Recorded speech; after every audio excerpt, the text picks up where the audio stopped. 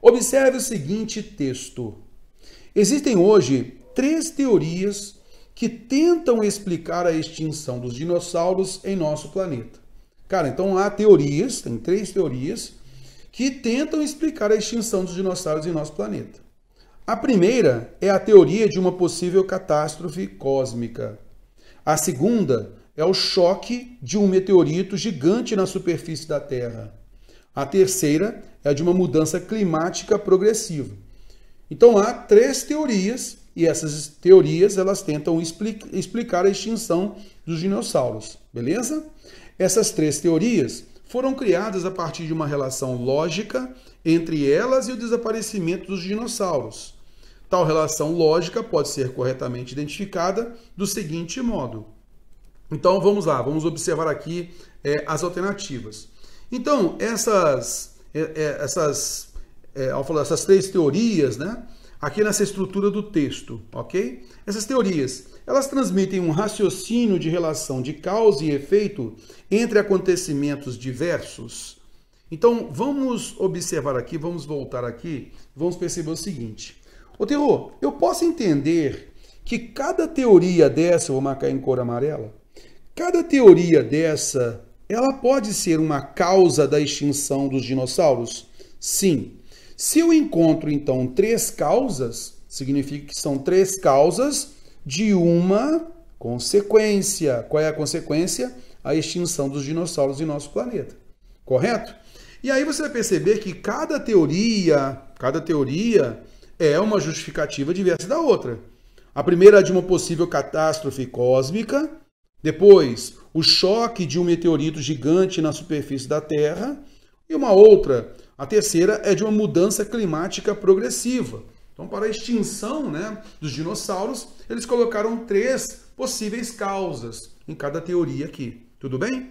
Então, é um raciocínio de uma relação de causa e efeito, causa e consequência, entre acontecimentos diversos. E aí você vai perceber aqui quais são esses acontecimentos diversos. Cada teoria mostra um acontecimento diverso do outro. Concorda comigo? Então, há uma relação de causa e efeito? Sim, cada teoria uma, uma possível causa da extinção dos dinossauros, ok? Cara, tem a ver, tem a ver, mas vamos à próxima. Letra B. Um raciocínio encadeado de forma que cada uma das teorias é causa da teoria seguinte. Então, será que na realidade nós não temos três causas é, é, espalhadas, né? Cada uma de um tipo, não. Na realidade, uma levou a outra. Será, terror? Que ele quis mostrar esse encadeamento? Significando então que primeiro houve uma catástrofe cósmica, e essa catástrofe cósmica levou ao choque de um meteorito gigante na superfície da Terra? Não, né? E que essa, esse meteorito levou a uma mudança climática progressiva? O que o texto, pelo menos o texto, não indica isso para gente. Concorda comigo? É, o que o texto falou que há três teorias. E aí, uma delas pode justificar é, a extinção dos dinossauros. Concorda comigo? Mas não que haja ali, né? Mas não que houvesse ali uma ligação entre elas, de causa e efeito entre elas, ok? Beleza, então não cabe esse encadeamento porque o texto não trouxe para a gente nenhum elemento que nos comprovasse isso, correto? Então fica fora esse raciocínio encadeado de cada uma da teoria é causa da outra.